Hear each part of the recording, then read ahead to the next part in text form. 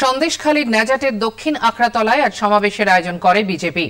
সভায় বিজেপি রাজ্য সভাপতি সুকান্ত মজুমদার বলেন তৃণমূল কংগ্রেসের অত্যাচারী নেতাদের বিরুদ্ধে বিজেপির লড়াই চলবে।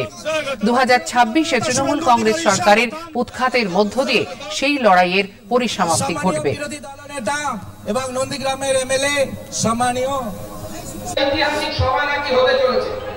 কেন? মঞ্চের ভেতর দিয়ে নাকি র্যাম্প বানিয়েছে মাঠের ভেতরে র্যাম্প? র্যাব মানে যেখানে ফ্যাশন শো হয়।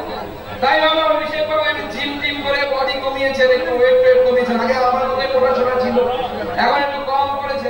পাশে হাঁটবে মিমি নুসরাত, আমি ভাবলাম, দারুণ, আপনাদের সাংসদ ভারত র্যাব সহ ভালো ফ্যাশন শো হবে। ঐতিহাসিক সভা।